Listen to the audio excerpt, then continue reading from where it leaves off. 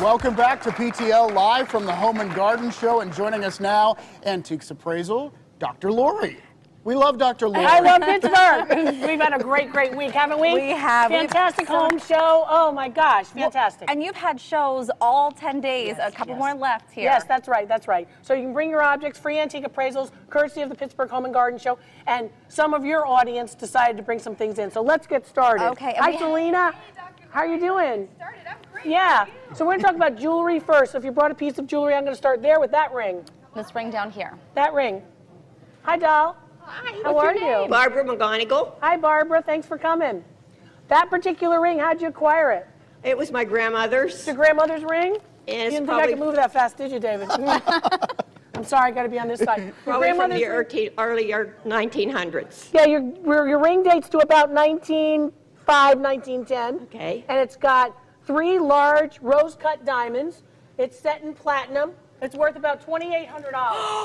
wow. Do oh. you wear it? Sometimes, Wear not it very often. else. Wear it to church. Wear it to a wedding. Wear it. Or go on vacation, Barbara. Yeah, there you go. I like that idea. That too. Who brought this necklace? What a great start. necklace. Thank you. What's your name? Dottie Schutte. Hi, Dottie. How did you acquire the garnet necklace? You know, garnets in the early 20th century were like rubies. Oh, it was my grandmother's. It's beautiful. Thank it's called you. a lavalier necklace, and this particular necklace has a secondary market value or an antiques value of about $500. oh, Very nice. thank you. Thank you. All right, then we've got this pin.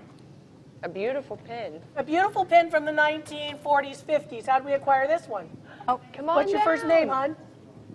Uh, Faith. Hi, Faith. How did you Yes. acquire this, Moms? Uh, my mom, and I think it was my grandmom's. This particular pin, Beautiful. you can see all the Oh, nice, look all at the you. nice stone work here. So the stones are set, and they're set in rose gold, which is a high copper content. That what makes it give it its rosy color. Mm-hmm. And value on this pin about $125 retail. Oh, nice. How about this nice. nice diamond necklace?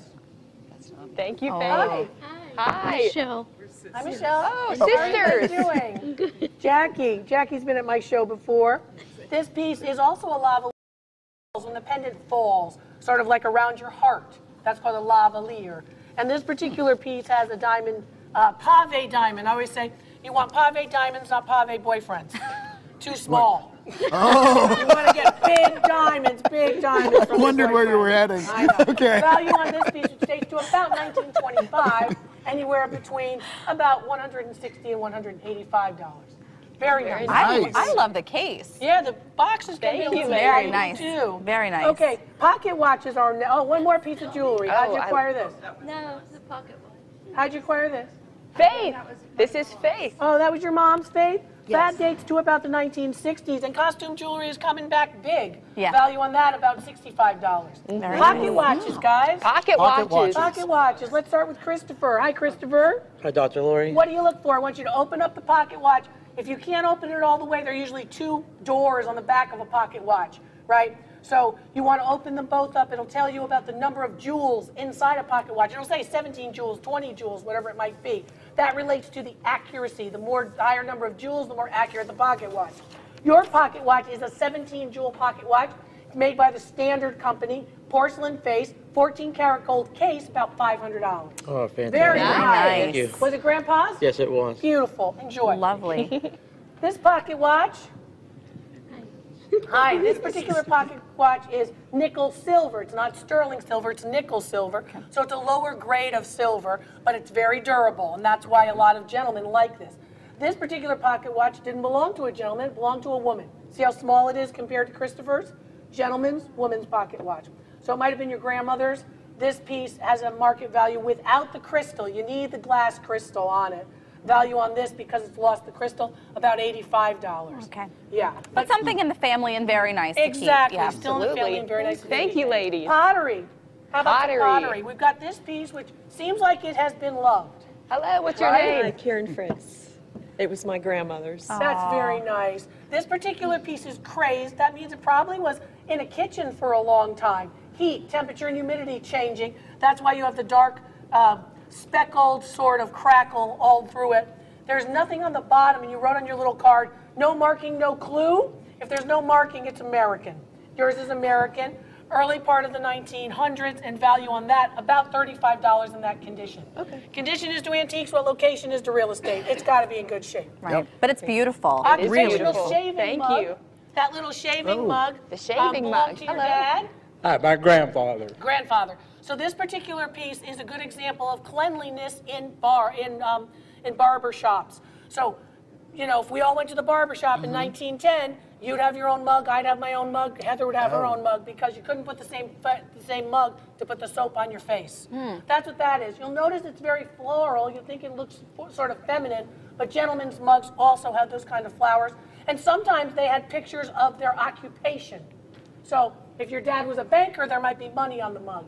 Value on that mug, about $200. I'm glad you said it was a shaving mug. I would have had coffee in that thing. Me too. I would have I hope you were doing that. And then there's that little gilt piece, it's a little gold vase. Do you see the gold vase at the end? It's gorgeous. right sir.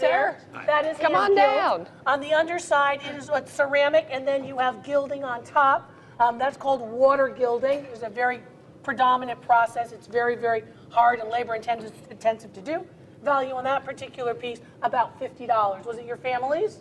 It was my wife's grandmother. Uh, she received it as a 50th wedding anniversary gift in the 1950s. Very Wow. nice. Wow. And if we didn't get to the pieces on the table, I will make sure that we get to them after the, we're after we are out.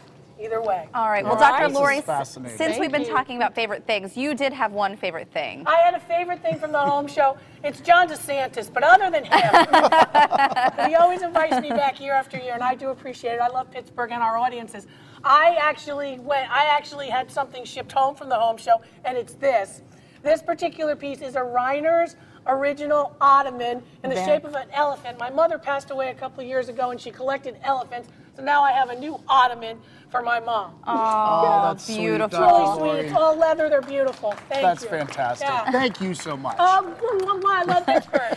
And Thank you can guys. come and see Dr. Lori. She has her stage shows through this weekend, uh, today and Saturday at noon, 3 and 7, and Sunday at noon and 3.